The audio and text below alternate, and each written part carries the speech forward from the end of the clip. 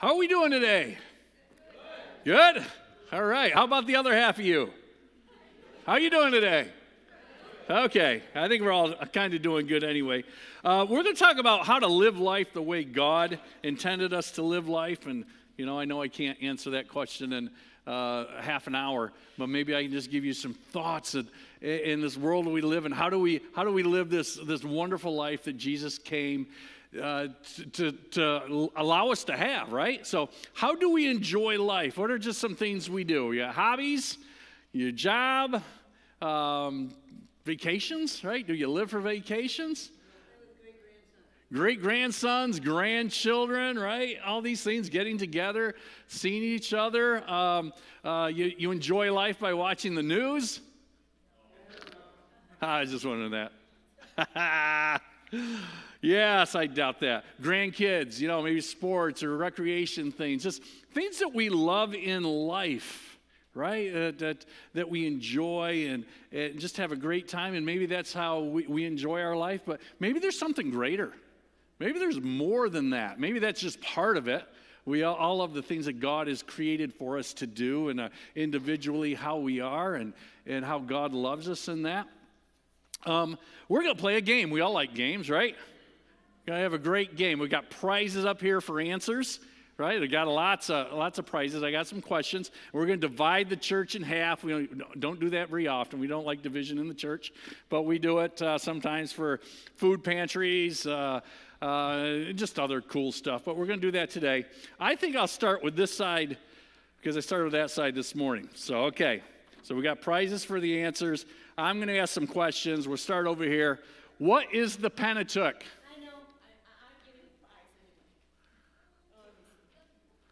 Well, I don't hear any answers, so okay. We'll go over here. Hey, what do David, Saul, and Solomon have in common? What is it? They were, oh, yeah, that's right. So, so it's answered over here. If you guys want to get a prize for that, go ahead, even though they answered. Where in the Bible would you read about the life of David? Boy, this, I don't think this side knows anything. I think we'll go over here. God promised the Israelites a land flowing with milk and honey. Get your prize. Let's see if we can even get an answer over here. What? Here's an easy one. Okay, team. What is the name of the biggest river in Egypt? Oh, oh, wow. I don't know what he's doing. Hi, how are you doing? Okay. Add the missing word. Gold, frankincense, and oh, I think the whole I think the whole side got there. Oh, we don't have enough prizes. You'll have to fight over them. Okay. Is the is the book of Revelation about the end or the beginning of the world? It's about both, right? cool. Awesome. Okay, tally up the points. Awesome. Okay, Morgan won. You won. You, you won the game. A loser? You're a loser, Ann.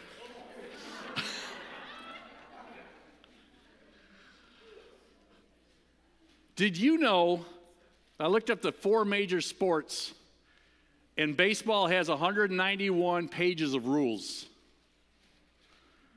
Basketball has 113 pages of rules. Football has 96 pages of rules. Hockey has 200 pages of rules. How did you like playing our game with no rules? That was fun to those that got the, that got the candy, right? What was it like? What did you think? Chaos. chaos. That's the exact word we got this morning right off the bat. It was chaos, right? Nobody knew what was going on. I think, I think this side was over here, what's going on? They wouldn't even answer the questions, right? what is going on here?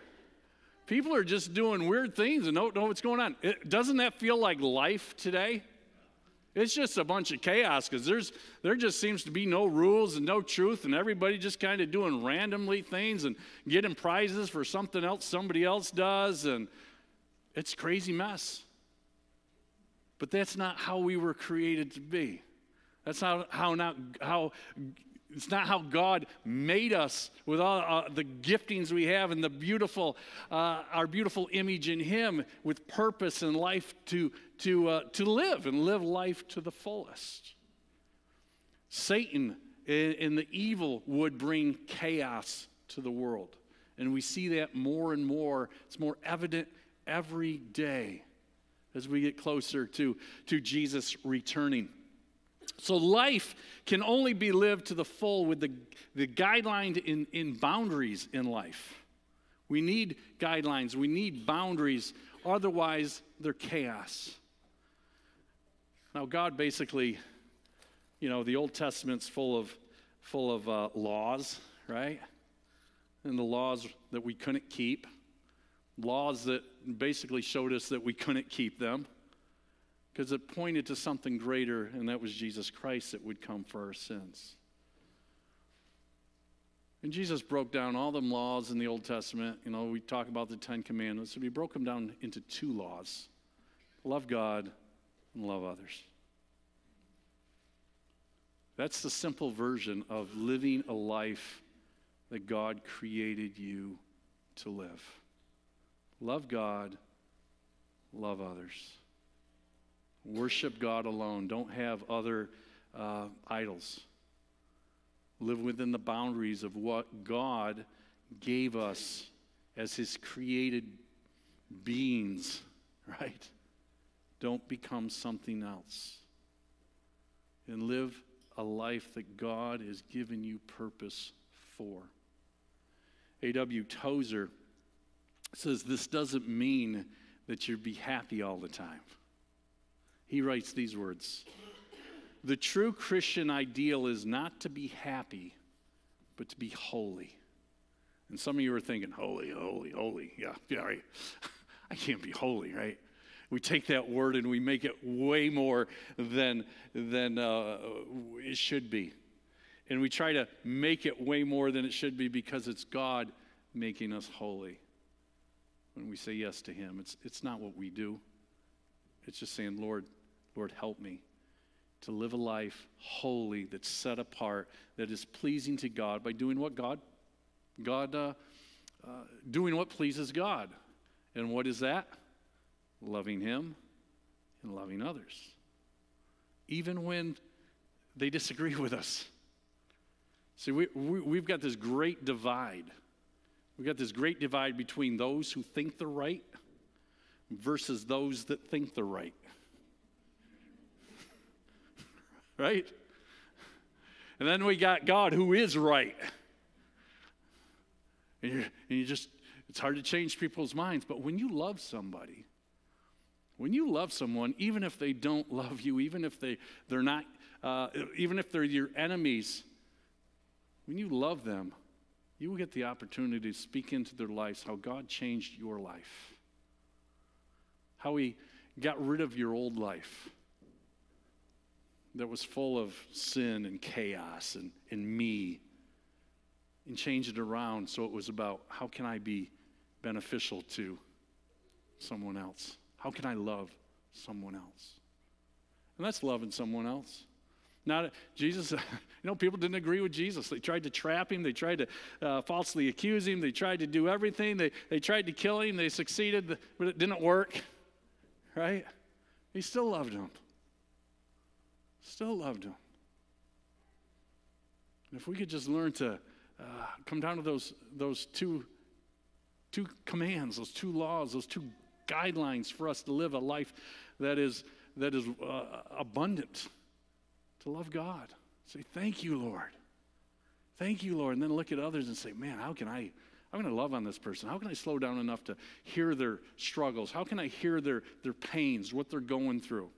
Sometimes I got to slow down enough to remember what it was like as a parent with small kids. Because I'm not in that stage right now, right? I've moved on to another stage, and uh, you know, ki- you know, kids, parents with, with kids, and they're they're struggling and they're trying to do this and that. So, uh, what's the big deal, right? Because I'm not there, I got to stop and say, oh yeah, that was a big deal. Cindy's running one kid over here, and I'm running another over here, and the third one we've left behind We don't know where he is. Hope he shows up somewhere. Hope he's still there when we get home. Okay, I, I, you know, we, we all get in our own own places in life, and we just got to remember that, uh, yeah, maybe I've been through that. Maybe I can slow down enough and, and, and love on them to help them. So, where, where are we in that life? Isaiah 45 18 says these words For the Lord is God, and He created the heavens and the earth and put everything in place. He made, he made the world to be lived in, not a place of empty chaos. And I am the Lord, there's no other. So He created this beautiful creation and created us to live in it for, with purpose, a place to be lived in.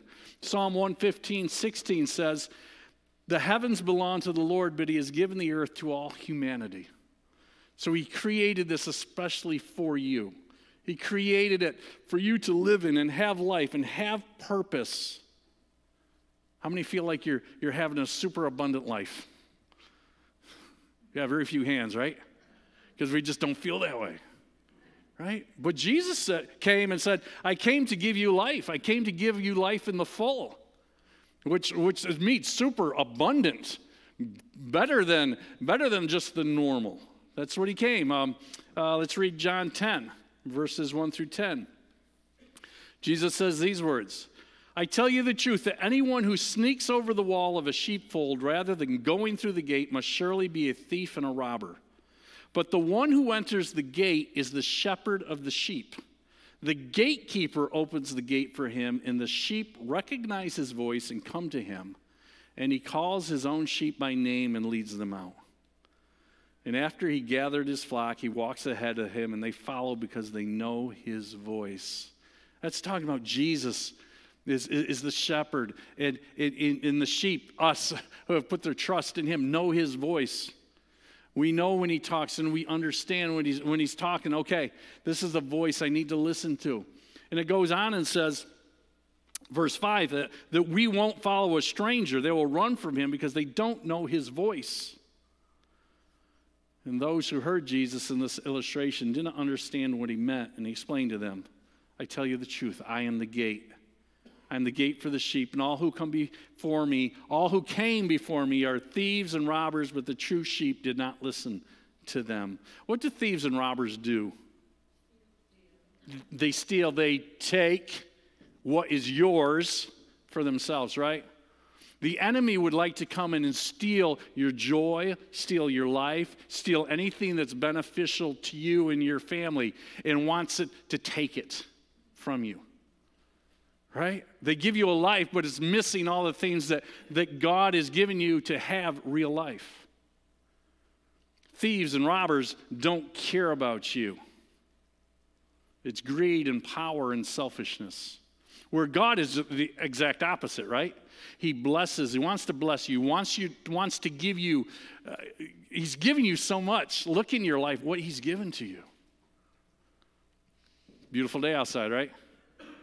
Let's not take it for granted. It was created by God for you and I today. Just like that zero degree weather in January with the wind blowing.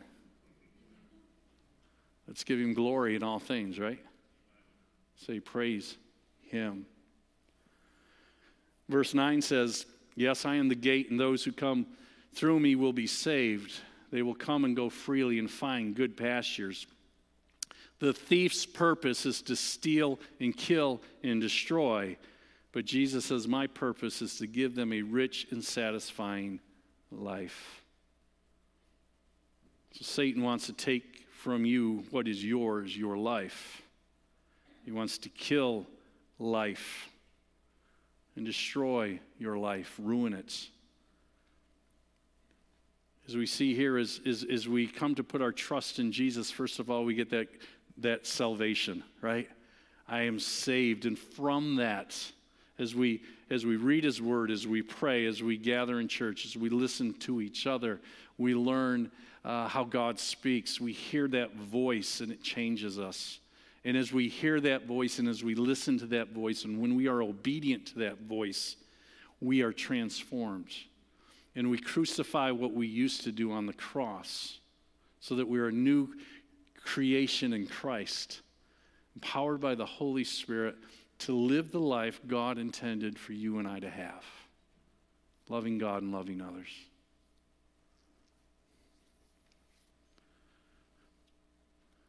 My purpose is to give them a rich and satisfying life, which means super abundant, superior, exceedingly abundant, more and more good life. So often I think the world hears the do's and don'ts of the church. Oh, you can't do this and you can't do that, and you, you know, don't do this, and you're supposed to do that and you just hear, boring, I don't want to be any part of the church. Maybe the message should be, what do we believe in? What do, what can we do? And that's to love those around us. That's to love God. That's to uh, um, love those around us in such a way that say, hey, it's not about do's and don'ts. It's about living a life that's healthy and beneficial to me and to my family and to the world. The, uh, as we talked about last week, uh, love, love, joy, peace, patience, kindness, goodness, faithfulness, gentleness, and self-control. Right? All those things as you as you love on somebody. There's no one that doesn't enjoy being loved on in those areas. The Wesleyan Church uh, had their general conference here just a couple weeks ago, and, and just a few things that they talked about and affirmed what they support, not about do's and don'ts and you can't do this and you can't do that. But they said these words. They stood and said, we, we affirm that persons of all races are created equal in the image of God and are entitled to equal justice under the law. In Christ, there is no black, white, green, yellow, whatever. We are one. God created all people, He loves all people. Remember that. The world brings division. The world uses race bait, baiting all the time. Just look at the headlines on the news in the newspaper. Our TV died a couple weeks ago, so I got rid of all of our stuff, but I don't see the news much anymore, so I'm a happier person. Right? All races are created equal. Number two, to affirm the Wesleyan Church to affirm that the sanctity of life and all that is life is sacred from conception to death. Life is precious because God is life. Jesus is life. No matter where we are in that, that process of living, you are precious. We stand for life. The third thing they said is we affirm that God's only design for marriage is between one, one man and one woman. Because anything outside of that destroys, that hurts, whether you see it or not. It's the, it's the consequences, right? Or you, you reap what you sow. You may not see it now, but you'll see it later. In all these things, it's just for your benefit. God's design for you. God's design for, for the humans he created. Stay within these, these boundaries. And, you know, we get hung up that oh, other laws or whatever do. No, it's for your benefits. Don't let your kid play in the, in the, in the middle of the street. I mean, it's obvious. It's obvious. And when, when we can see Him that way, we understand how great God's law, love is for us.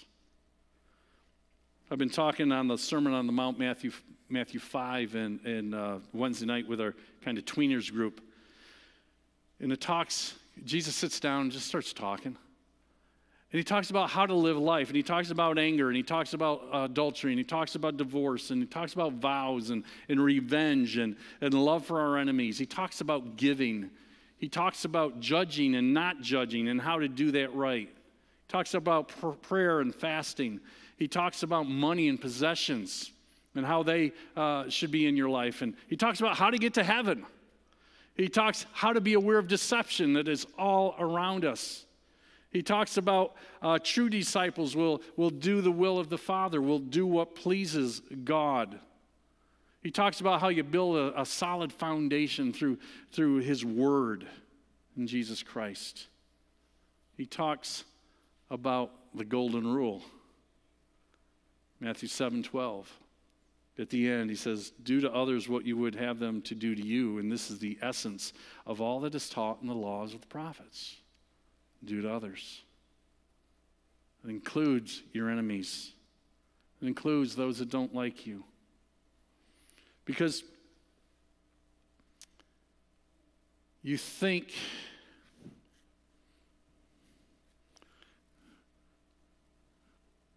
We've got those people who think they're right versus those people who think they're right. right? There's some truth in there somewhere, right? But often we let ourselves feel more superior because we know we're right, or at least we think we're right. And therefore we're looking down on another person who is God's creation. Right? I am right. They're so wrong. When are they going to get it? In fact, we should just kind of be listening and say, How do you, why do you feel that way? How, uh, ask some questions, get to know them. Because their life is not your life. They weren't brought up the same way you were brought up good, bad, ugly, right? We're all different. But we have one core truth, and that's, that's, that's God in His truths. So, how can we speak in their lives and love them enough, even in the hard times, even in the tensions, even with the struggles, to care about someone enough to love them. G.K. Chesterton said these words The Bible tells us to love our neighbors and also to love our enemies, probably because they are generally the same people. Maybe. People we interact with often.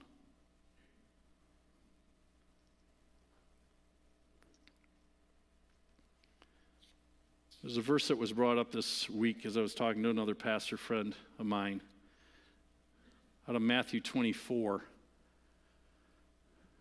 And, and Jesus talking about the end times. It says these words Sin will be rampant everywhere, and the love of many will grow cold, but the one who endures to the end will be saved.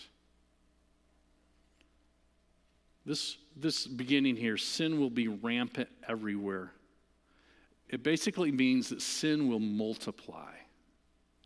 Okay, it's not adding on a sin here and adding on a sin here. The world comes up with a different sin, but it's multiplying. And when you start to multiply, things get, get bigger, right? Number gets bigger pretty quick. You can see that in today's world, right? Right? And, and, and, and it says, because of that, the, the love, and there will be, there will be There'll be sin everywhere. It'll be multiplying. You, will you, just see it. And the love of many will grow cold. In, in, the King James Version says the love of many will wax cold, right? And, and if you ever done any canning and you got you heat the wax up and it's liquefied and you put it on top of the jar to seal the jar, you put the lid on, what happens to that wax? Slowly hardens, right? Right. And that's that's what it's talking about here about, about your love right? Don't let your love wax hard. Don't, get, don't let it be hard. It's so easy to make, let that happen, right? This last couple of years of COVID, you know, people have been fearful. People have been, um, uh, they don't want to get together. They're still afraid. And now, if you want to talk to someone, anyways, you're, you, you don't want to, you don't want to talk to them because you might offend them because that's been going on for years now. So you've got, you've got this great, it's like the perfect ugly storm is hitting us all. That we've been separated, we've been fearful, we, we, we don't want to say anything, we don't even want to say the truth, right? Because we just can't handle it anymore. We're tired of it. So we kind of just go off into our own little worlds. And our love starts to wax cold. I challenge you not, not to let that happen.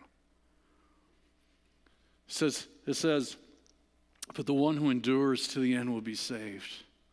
Because God called us to love. Don't stop. Fight through it. I find in myself, I got to fight through at times. There's times I just want to go home and get in my recliner and just sit there. Lord, come. what was that? What was that show? Sam, Sanford and Sons. I'm coming, Lord. That's older than most of you. So, right? Have you, have you felt that way? Right? Oh, press on, press on. Romans chapter 1 talks about those, those that have said there is no God and God hands them over to do what they want to do. And the, it goes on and talks about all the evil they do. And it, it talks about them inventing more evil. They make more evil. And that's the world we're in today where it's just multiplying. You just you pick up, you know what news, you pick up your phone for a second, you say, oh, there's, there's something new I never knew, just some kind of sin. So, so I, I encourage you to press on. Loving. As the team comes up, we get, get ready here. The first is make sure that you love God first. Because if you don't love God first, it, it's not, it doesn't work, right? Make sure you're loving God more and more. Make sure you're taking time just talk to Him. The second is make sure you love yourself. Because you guys are, and girls are just beautiful people. Designed by God in a beautiful way with a purpose. And He's given you everything you need to do to, to, to do that purpose. And if you don't have it yet, when you step out of the box to do it, He'll give you what you need. And the third thing is just love on others. Take time to stop and listen. Right? I mean, ultimately, God's the final judge. We don't need to be judging all that much. Talks in the Beatitudes of the, you know, the same degree you judge, you'll be judged. So be very careful on that. But love others is a, is a no brainer. And I'll end with this John 3 16 and 17. For God so loved the world that he gave. Right? So God so loved the world that he gave. That's not just you, that's everybody. That's your enemies, that's people that don't like you, it's people you don't like. God loved the world, he gave his one and only Son, that whoever believes in him, whoever trusts in him, will not perish but have eternal life.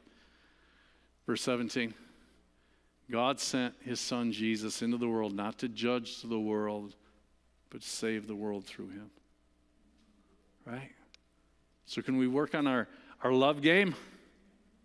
Can we slow down enough? And maybe it, start, it starts with God, ourselves, and just spread it, spread it around.